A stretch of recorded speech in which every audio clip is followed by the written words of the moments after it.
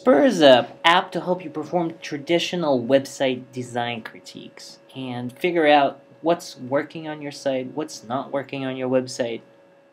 And it works pretty simply. You can just type in your URL in here and you can uh, say spurred on and then the website will capture the screenshot of your website design and it'll you can also upload your mockups, your images, whatever you're working on here.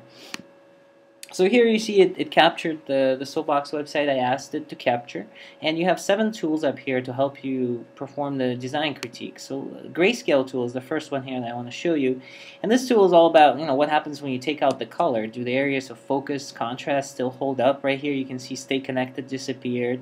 But you can see down below here that the, these these speakers, the pictures here are working very nicely with still jumping out at you with this with this image up on top here.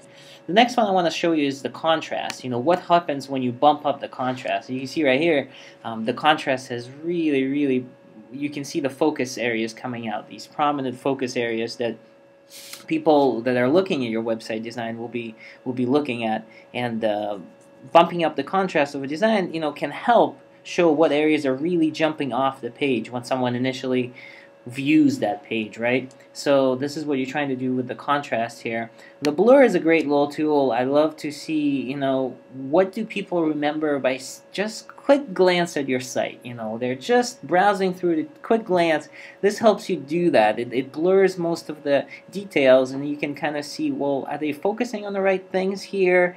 Um, is there they just they just have a few glances right at your site. Is is does your site communicate value for a person that just glanced at it? The mirror is a great tool. It uh, I love this tool too. What happens when you mirror the site? You can see that uh, the most of the con the text here, the content is illegible, and uh, you know does does the the site does it make sense, right? Um, does without any of the copy on there? Can you kind of jump around and, and make sense of it? So some of these tools are great ways to figure out what's working on your site, what's not. You can see that there's more, there's intersections, and then there's a rotation, and there's 50% zoom. And again, there's another about section here that will help you understand more about this, this tool. And again, the idea here is trying to figure out what is working on your site, what is not, quickly critiquing them, um, and um, that's Spur.